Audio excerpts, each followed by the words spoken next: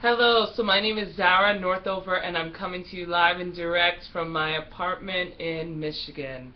So it's been a while since I've vlogged and uh, I decided to use YouTube now because it'll be easier to record and um, just input these either on my blogs on www.zaranorthover.com or on my Facebook page, Facebook fan page, uh, Moving in Faith. So come find it on Facebook, like it, and uh, join in on the movement. And uh, yeah, that's about it. So what do I want to talk about today? Today I am, I've been going through some things, honestly. And, um, you know, I'm trying to figure out what the rest of my athletic career is going to look like. I have a thesis that I need to, you know, really start brainstorming and putting together. Um, you know, for this year in order to graduate with my master's in sports management in April.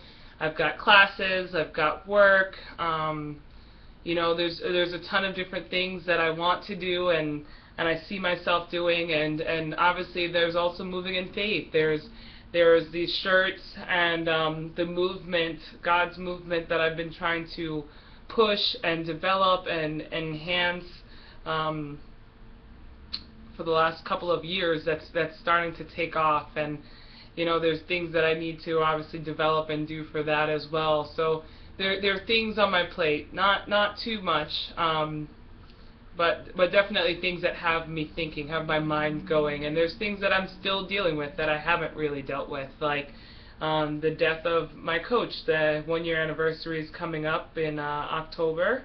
And you know my brother passed away, was killed last year too in January, and and my dad in in April. So you know I didn't really deal with those things because so much things were going on, and I find myself in a stage where just there's a melting pot in my mind. And um, that being said, I have decided to take a four-day fast. Um, literally, water, my Bible, and this book, Boundaries. When to say yes, when to say no, to take control of your life. Um, you know, I personally still always believe that God is in control of my life, and you know, I let go and I let God. You know, but we do have free will. We do have um, you know, we do, we do we do we control whether we say yes or no. We control whether we leave or we don't. Situations in our life might push us and help steer us back to where we need to go, but ultimately we still have that control to say we're going to do it or we're not going to do it, and that's because you know God has obviously given us free will. And um, I know I don't know if everybody does, but I know I battle with uh, learning to say no. I might literally say yes to everything. I might constantly be there for people that um, use or, you know, they don't abuse me, but I mean, I guess using could be a form of a, uh, of abuse as well. And uh, I deal with a lot of things, a little deal with a lot of nonsense. Let's just put it that way. And um, I think this book will be good for me because I think I need to set some boundaries on my own life and become redisciplined uh, so this way I could continue to move in faith and achieve just all the great things God has in store for me. And I'm excited to set on this journey to do so. Today's day one, and like I said, I haven't had anything to eat yet, and I'm feeling pretty good. I actually just finished reading a chapter from this book and, um, you know, looking at some old journals. And it's it's been great, and I, I just encourage you all to kind of think back on your own life and reevaluate where you are and just not be afraid to take a step back so you could propel forward.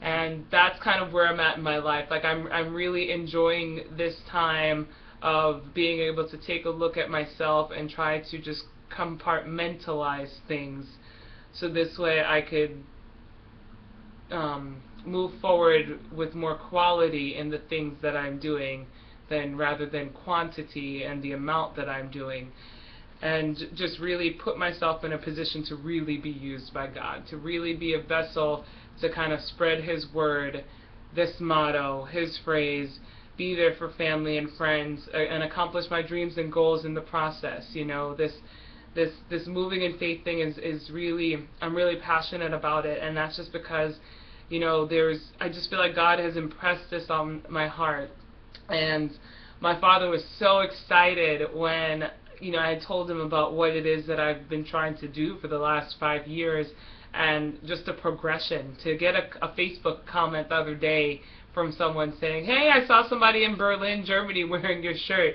It just it just makes me smile because I'm I'm confident that the person that was wearing the shirt, you know, was a believer. I'm confident that they were somebody willing to spread their story in order to help others and um, they were confessing that they were moving in faith. They were confessing that they you know, are in a position that they're going to strive to achieve the best, um, strive to achieve their dreams. That's basically what it comes down to. Um, that they believed themselves that themselves that much that they were boldly confessing that they were moving in faith, and um, I can't I can't ask for much more than that. Like I'm.